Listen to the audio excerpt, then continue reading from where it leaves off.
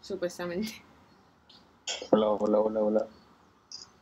Escuchan. Hola, Cuervo. Listo, comencemos, por favor. Eh, bueno, entonces nosotros vamos a hablar sobre un caso eh, clínico de coronavirus no complicado. Eh, primero vamos a dar como una breve introducción, lo que ya entonces todos sabemos que el coronavirus pues, es una enfermedad infecto-contagiosa ocasionada por el SARS-CoV-2 o pues el conocido coronavirus COVID-19. Sabemos que esta enfermedad pues, es de alto impacto socioeconómico eh, sobre todo pues se está viendo por el mal manejo que se está dando sobre los insumos, eh, sobre todo en bioprotección y todas estas cosas que nos están invirtiendo bien, sobre todo en el manejo clínico de, de estos pacientes.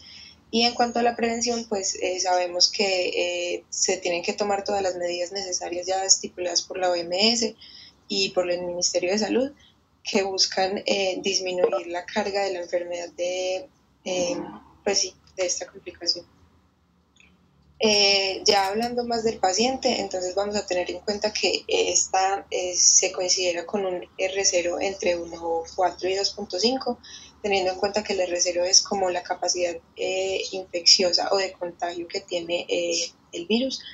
y se debe tener en cuenta que al ser un virus este puede mutar y se puede generar como bien sea un aumento o una disminución de, del R0 y se tiene que tener en cuenta que el R0 también va a disminuir con respecto a las concentraciones de personas y a la diseminación más rápida.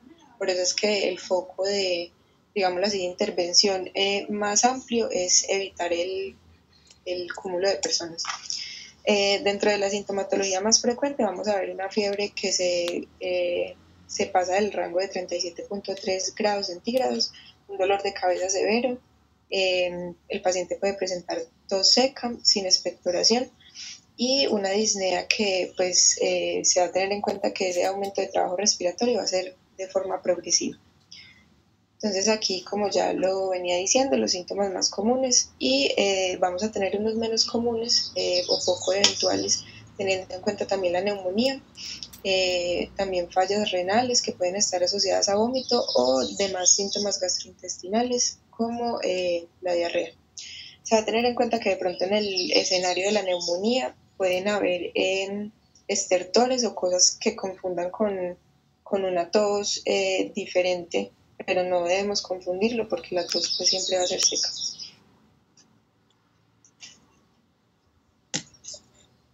Entonces para hablar un poco sobre la epidemiología, tenemos que hoy en día tenemos en el mundo 1.249.000 casos, esas son, esas son las cifras actualizadas de hoy. Eh, hay 49.000 muertes y hay un total de recuperados de 203.000. Los casos en Colombia han sido incrementados hasta 1.267, en donde hay 15 muertos y 55 recuperados. Hoy en día en el Quindío tenemos 23 casos activos. Siguiente. Entonces ya para comenzar con el caso clínico siguiente,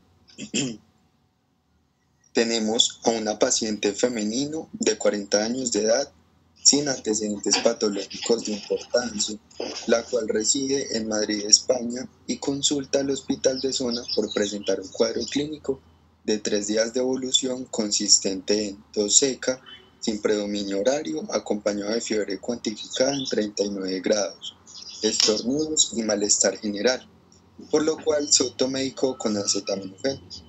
La paciente nos refiere haber estado en un supermercado ocho días antes porque necesitaba ir a, ir a comprar comida y piensa que posiblemente allí fue contagiada con COVID-19.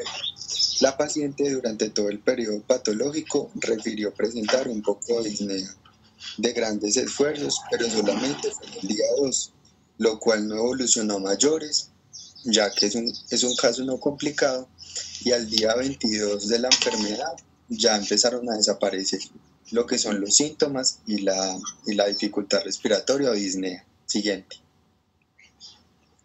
Entonces ya en el desarrollo de la sintomatología tenemos que la fiebre empezó a incrementarse paulatinamente hasta alcanzar los 39 grados, la tos eh, seca, no tenía movilización de secreciones, no tenía predominio horario, pero se acompañaba de estornudos.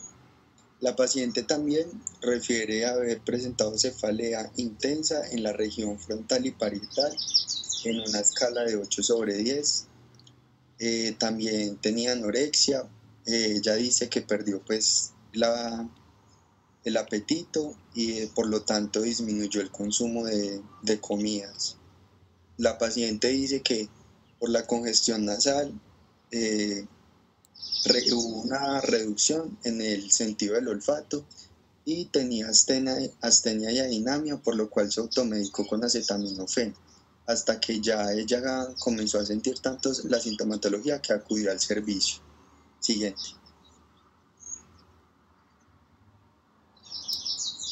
Bueno, entonces ya en, en revisión por sistemas, la, la paciente así, bueno, ya todos los síntomas están, están anotados, pero nos pareció relevante negar eh, que no tenía vómito, no tenía diarrea ni síntomas gastrointestinales, no tenía calambres y pues niega expectoración sanguinolenta porque más adelante vamos a ver lo de los diagnósticos diferenciales. Siguiente. Bueno, entonces como le decía el compañero, en la revisión por sistemas, entonces el paciente además de, la sintomatología general, refería a descamación del cuero cabelludo, eh, ardor ocular, eh, hace dos semanas, sin secreciones oculares. Refería una cervicalgia a los movimientos rotatorios hace un día, eh, de extremidad inferior izquierda, eh, en cara anterolateral por una descamación previa del paciente. Eh, y como ya lo habían mencionado, es importante negar los síntomas gastrointestinales, que había edema, palpitaciones, alteraciones del estado de la conciencia o cualquier algún otro síntoma.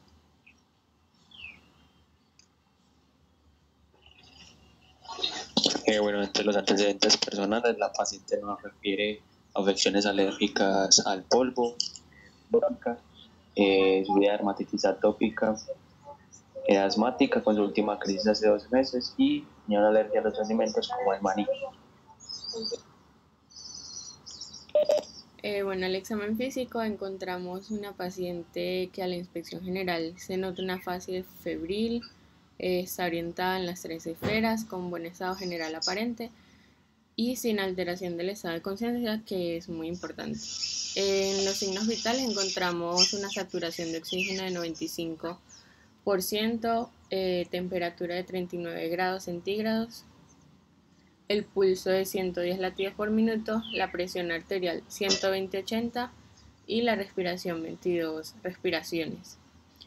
En el examen topográfico se le puede encontrar em, la nariz, mucosa nasal congestiva y eritematosa. Eh, Aquí hay que tener en cuenta que pues venía con antecedentes de congestión nasal y también una paciente con antecedentes de rinitis. En la boca pues encontramos una faringe eritematosa y congestiva. En cardiopulmonar los ruidos cardíacos eran rítmicos pero taquicárdicos y se le escuchaban leves crépitos en la base derecha, sin llegar a más. En lo neurológico se encontró alteración del primer par craneal, mostrando anosmia. Entonces ya como resumiendo todo lo positivo de esta paciente, en la anamnesis encontramos una paciente de sexo femenina de 40 años de edad que presenta fiebre de 39 grados centígrados, tos seca, cefalea con una intensidad de 8 sobre 10, anorexia, anosmia, astenia, estornudos y congestión nasal, tanto como disnea y dolor muscular. Y al examen físico positivo encontramos mucosa nasal congestiva y eritematosa, al igual que la faringe, eh, ruidos cardíacos rítmicos, taquicárdicos, leves crépitos en base derecha y alteración del primer par craneal.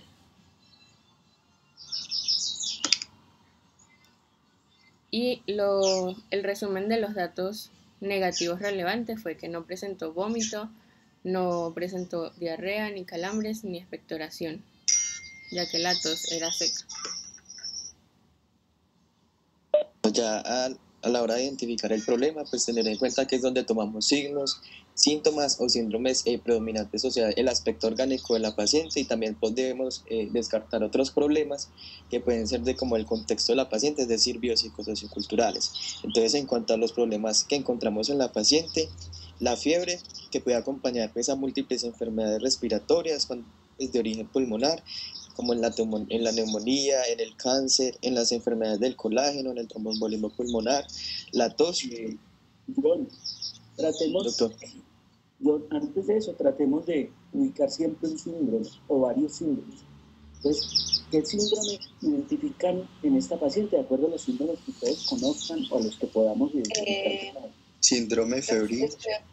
Síndrome.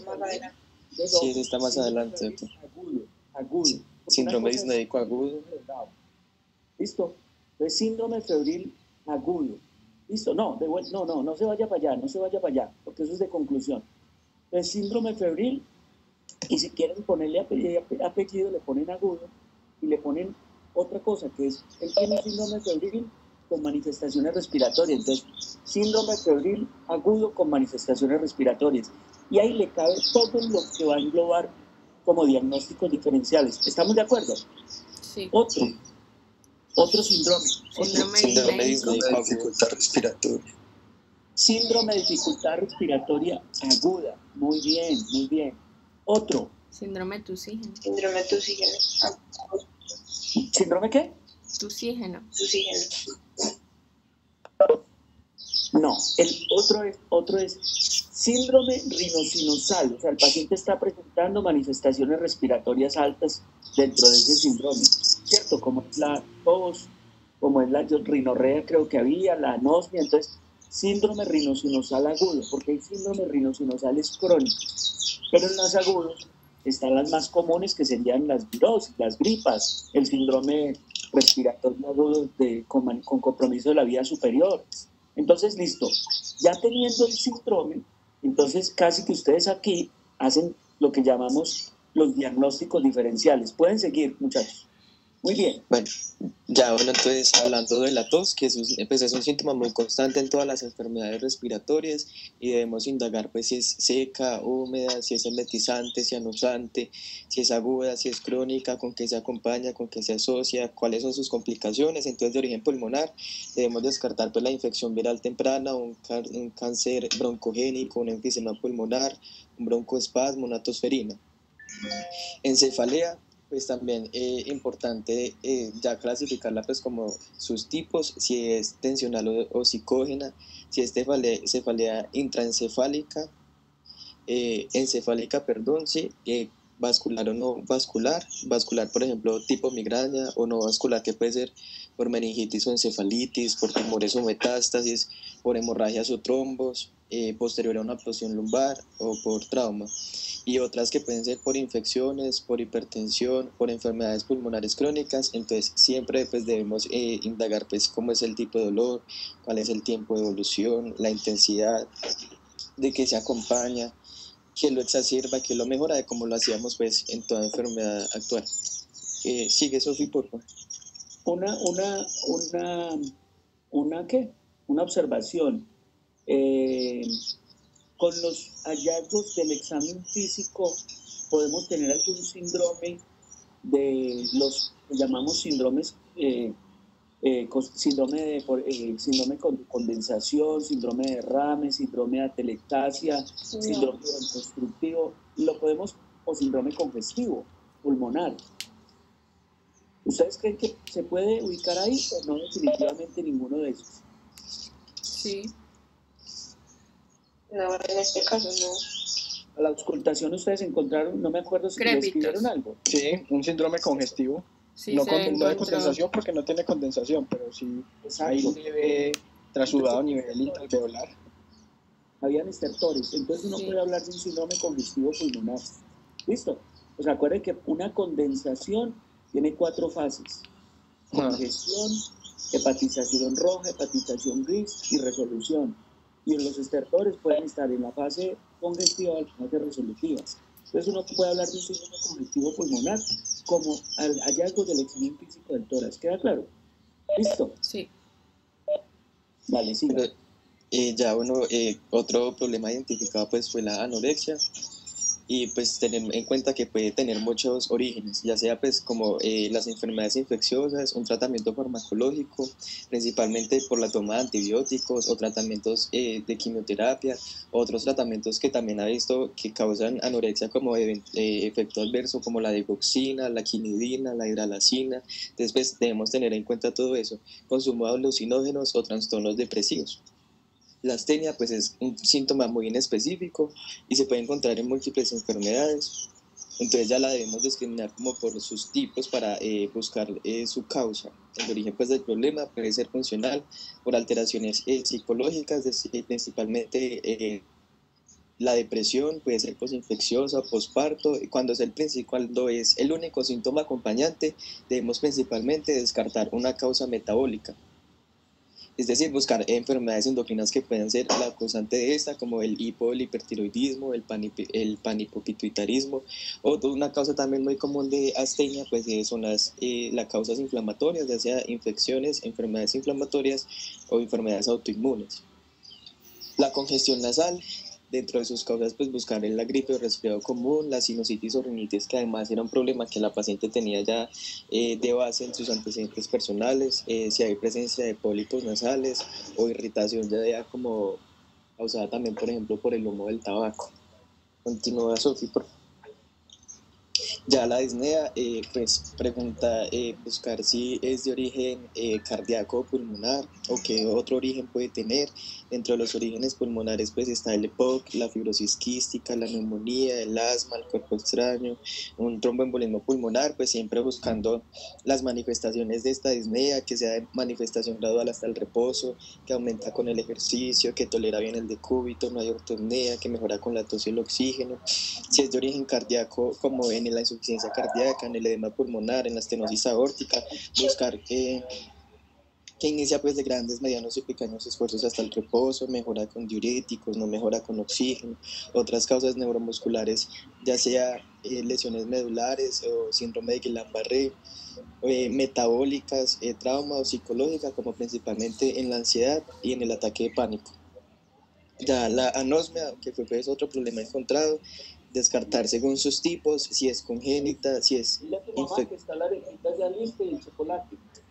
Perdón. Si es infecciosa por sinusitis, rinitis o gripe, eh, si son estructurales por presencia de pólipos, tumores, un cuerpo extraño en la vía aérea, si es neurológica, y ya los crépitos, pues que son esos ruidos eh, más que todo inspiratorios por presencia de contenido líquido en en los eh, bronquios alveolos, pues buscar eh, si la causa es la neumonía, un edema pulmonar, una insuficiencia cardíaca, una cavidad de tuberculosis, unas cavidades tuberculosas y tener también muy presente siempre que no solo hay que descartar pues estos eh, problemas eh, como orgánicos, sino que se deben descargar, descartar otros problemas del contexto sociocultural de la paciente y ya, Sofi, continúa.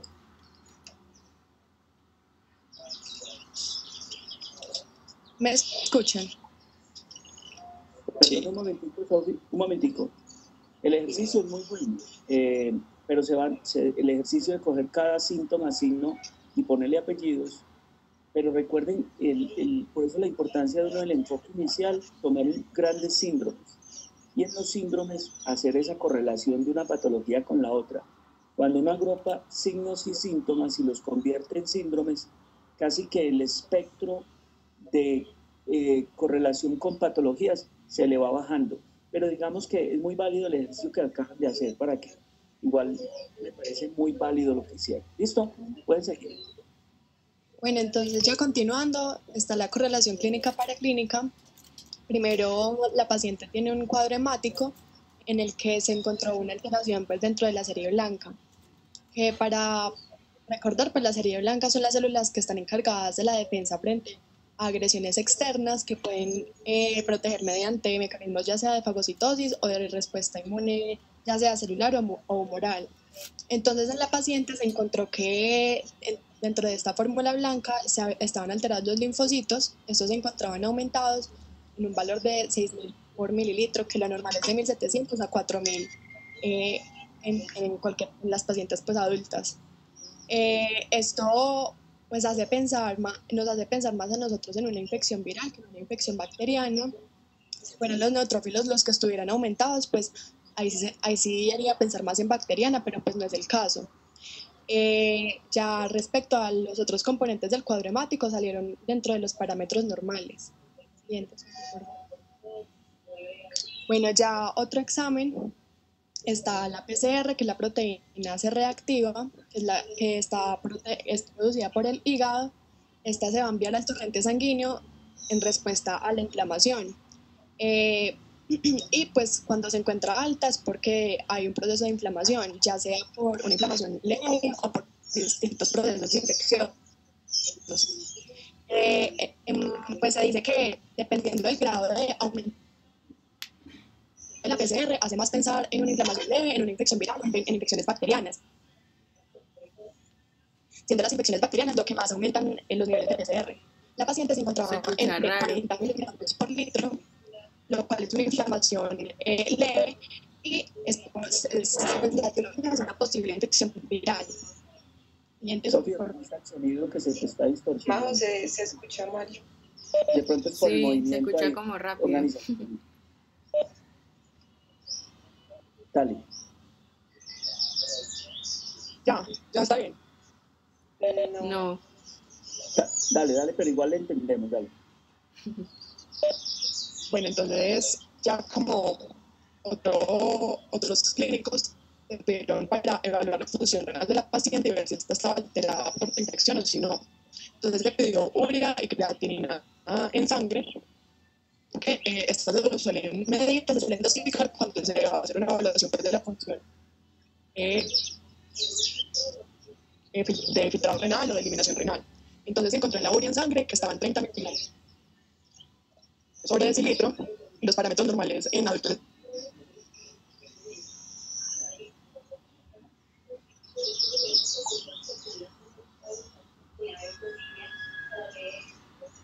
María.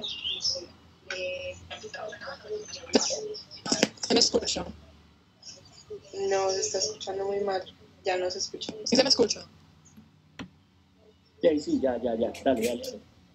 Bueno, entonces ya la en sangre estuvo dentro de los parámetros normales, la creatinina dio en 0.8 Si quiere, mientras, miligramos sobre decilitro. el sonido, eh, no sé, ¿quién está hablando? ¿María José? Sí, señor. ¿Quién María. está hablando? A ver a quién se le oye mejor, ¿listo? Miremos, miremos.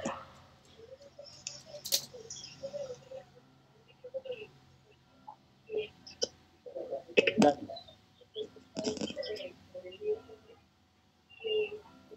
Al- ¿Sí se me escucha? No. María sí se escucha, sino que se escucha muy cortado y Sí, se acelera el el sonido. Sí, entonces hable Sofía, creo que la que está hablando, que se le oye, puede hablar Sofía, no hay problema, mientras la otra compañera María José le organiza el listo, no hay problema.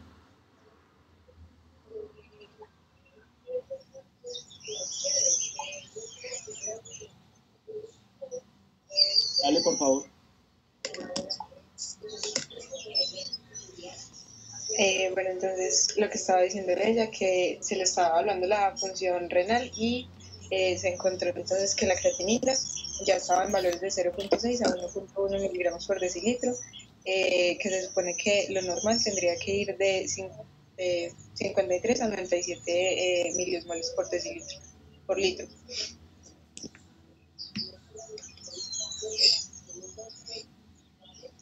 Bueno, en la radiografía de tórax eh, tenemos en cuenta que era importante entonces descartar cualquier proceso respiratorio con conso- consolidaciones eh, o con alguna eh, inflamación evidente de los pulmones, pero pues no se encontró alteración alguna.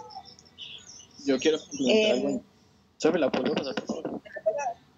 Sí, ahí. Eh, la mayor, digamos, eh, cuando la, la infección por el COVID, los pacientes presentan un patrón que se llama envidrio esmerilado.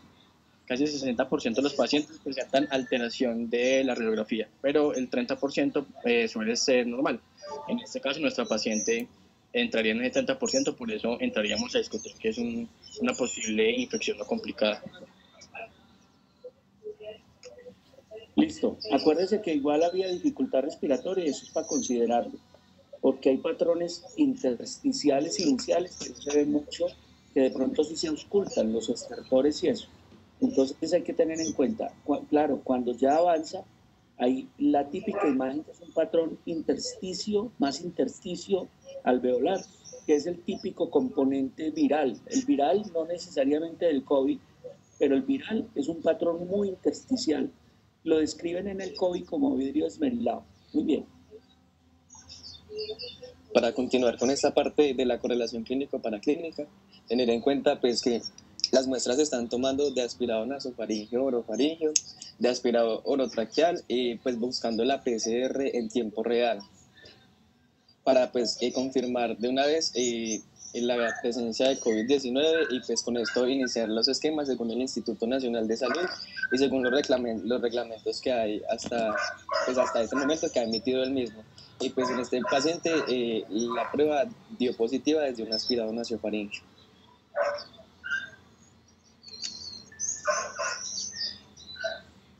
Hola, ¿me escuchan?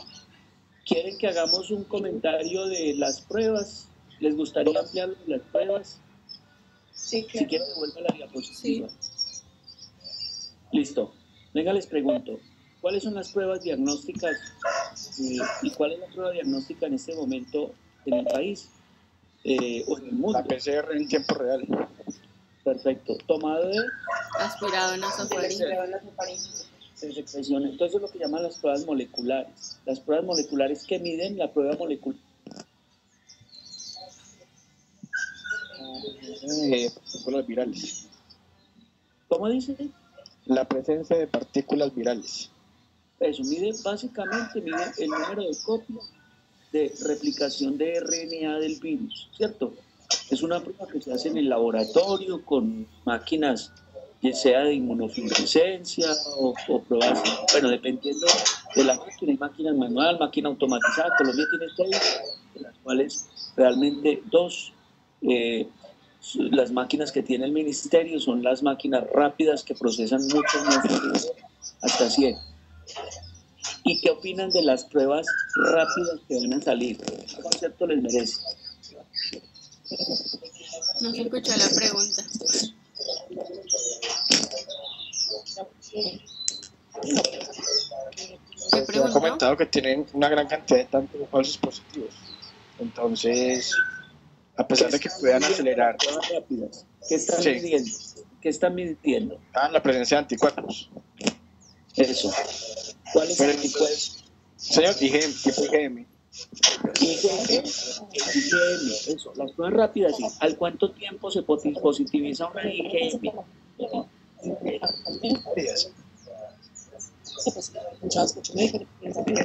¿Al cuánto tiempo más o menos? Entre 5 y 7. Sí, después generalmente de la primera semana. Después de la primera semana. ¿Y entonces qué mide una prueba positiva de IgM? ¿Qué mide? Una infección aguda, o sea, que sea reciente. Que, que el paciente tiene una respuesta inmunológica posible al virus. Y entonces, si usted toma una prueba IgM negativa al tercer día, ¿qué pasa? Va a, dar por entendido que el paciente no tiene la infección, o sea, que no está haciendo una respuesta inmunológica. ¿Qué opina el resto?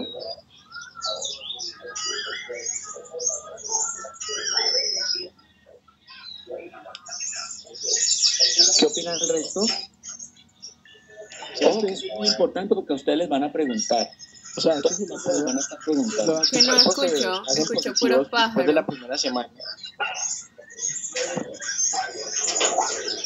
Yo escucho puros Entonces, pájaros. que pasa. A usted le toma el tercero, cuarto, quinto, sexto día y le sale negativa. Pues sencillamente es que no está en el día de respuesta inmunológica del individuo. O sea, que usted le da negativo y eso lo descarta. Y ese es el problema que vamos a tener. Ese es el problema que vamos a tener con pruebas rápidas. Encima, la sensibilidad es relativamente baja. Por eso mismo, si uno la toma después de una semana, es posible que una prueba negativa diga que un paciente no lo tiene. Si la toma, pero si la toma eh, antes de eso, pues grave, se queda usted sin saber. Una prueba positiva, ¿qué hace? ¿Qué conducta hace tomar? Iniciar el. ¿Cuál? el inicio del manejo. Aislamiento. Una prueba negativa, una prueba positiva obliga a que se tome qué? Aislamiento. La PCR en tiempo real. La La. PCR, o sea que el diagnóstico definitivamente lo tenemos que hacer con PCR. ¿Sí? ¿Y qué significa una IgG positiva? que es crónica. ¿Qué? Crónica. No, no es crónica, sino que el paciente tuvo contacto con el virus, así de sencillo. Ah, ¿Cuándo aparece? Después de la segunda, tercera semana, o sea, tardíamente.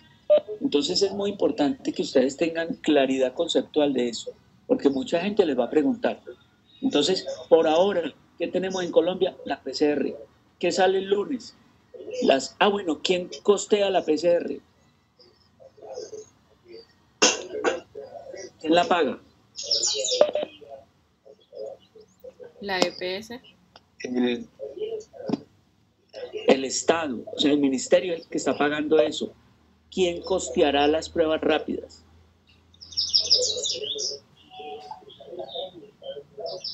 Se supone que Ah. el paciente, ¿no? también el. Estado. No. Las pruebas rápidas van a ser hechas por la CPS a través de que de los laboratorios. ¿Quién está haciendo la PCR en este momento en el país?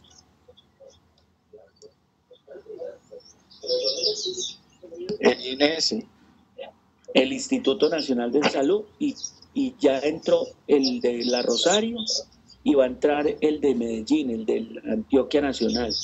Y van a entrar al 15 de abril, ya estarán como 18 laboratorios ya activos, donde vamos a poder tomar más o menos 17 mil pruebas diarias. Diarias. ¿Cuánto tomaban los coreanos o cuánto están tomando los alemanes semanal? 500 mil pruebas. O sea, ¿qué significa poder tomar hartas pruebas? Poder empezar a diagnosticar sobre todo pacientes asintomáticos o pacientes respiratorios leves para empezar a hacer toda la fase de aislamiento mayor y mucha mayor prevención para que los casos relacionados y en esta fase de mitigación, ¿saben qué es la fase de mitigación?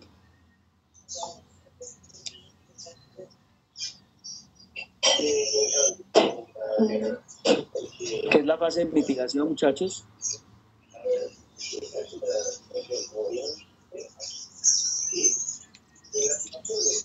Recuerden que algo que no, no lo vi ahí, todos los pacientes en primera fase, en primera fase son pacientes con nexo epidemiológico.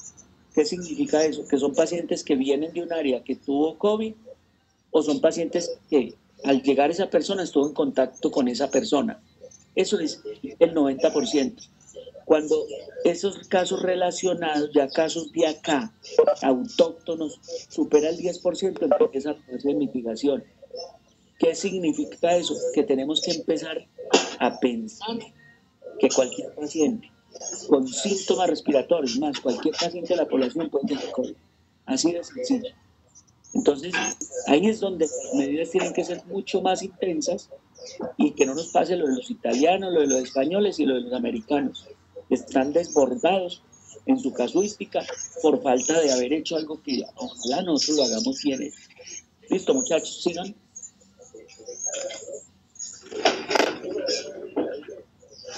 Bueno, entonces vamos a continuar aplicación del EPS diagnóstico. ¿Sí ¿Me escucha?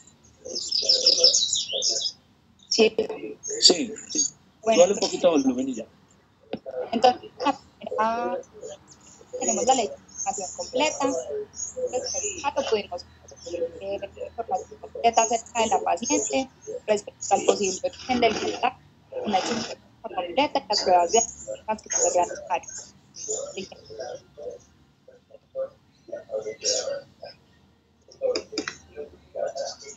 Eh, en cuanto a la ley de información cuenta, tenemos que, pues, en, un, en una paciente con cierta sintomatología, primero se debe pensar en los diagnósticos más probables pues en el sitio en el que la paciente se encuentre y no en los más graves comprometidos. Entonces, una paciente que se presenta fiebre, tos, cefalea, astenia, anorexia y anosmia, eh, pues lo más probable de pensar es si está cursando con una laringitis o con un resfriado común. Sin embargo, pues, actualmente eh, la situación mundial que atraviesa el país y debido a esta pandemia, pues también es válido que en una síntoma se presenta y Entonces, la ley de la más frecuente obliga a pensar en lo más frecuente. Lo más frecuente no es el COVID. Lo más frecuente es un, un lo que usted dice usted, un síndrome viral respiratorio alto. Eso es lo más frecuente por virus comunes. La ley de la prioridad en este momento obliga a lo que usted está diciendo. La ley de la prioridad obliga que todo paciente con manifestaciones respiratorias de cualquier tipo que se descarte un COVID. ¿Listo? Listo, siguiente. Entonces, en la ley de la prioridad tenemos pues que hay que confirmar o descartar por la urgente peligro que representa para el paciente el síndrome de dificultad respiratoria grave, la enfermedad por coronavirus. Pero ahí hay que, eso, ahí hay que ponerle el apellido y ponerle el apellido de COVID. Y lo otro es el diagnóstico diferencial. Cuando el paciente sí recibió dificultad respiratoria, la prioridad es descartar que no tenga una neumonía. Y el origen, que sea bacteriano o en este caso, por prioridad, que sea COVID, SARS-CoV. Entonces, debe quedar muy claro, muy claro. Ley de lo más frecuente, síndrome respiratorio agudo viral de virus comunes, sincitial, rinovirus, paramixovirus, la misma influenza, que no es el más frecuente de todos, el coronavirus común. Acuérdense que el coronavirus produce el 15 a 20% de las virosis respiratorias leves. El coronavirus común. ¿Listo?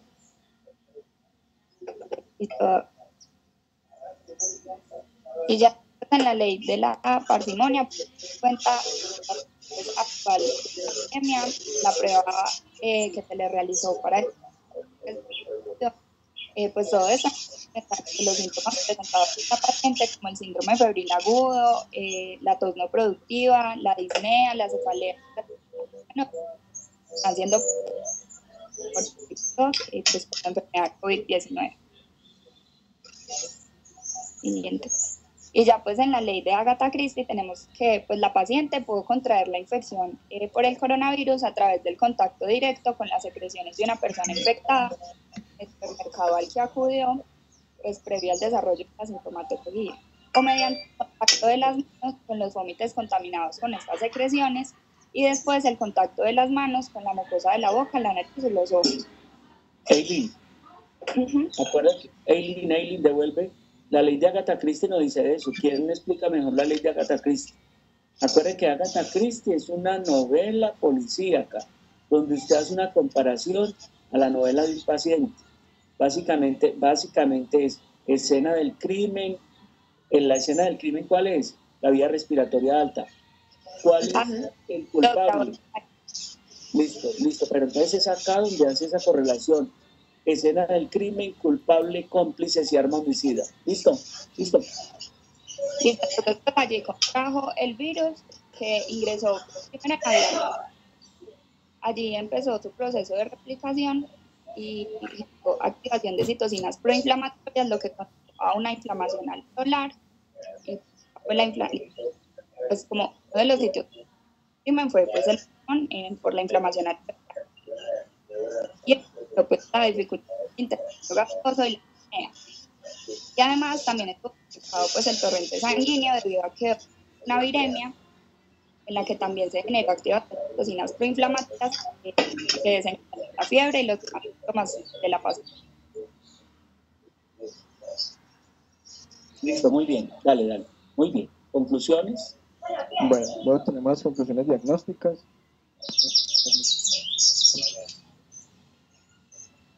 ¿Siga? ¿Cómo nos escucha? ¿Ya?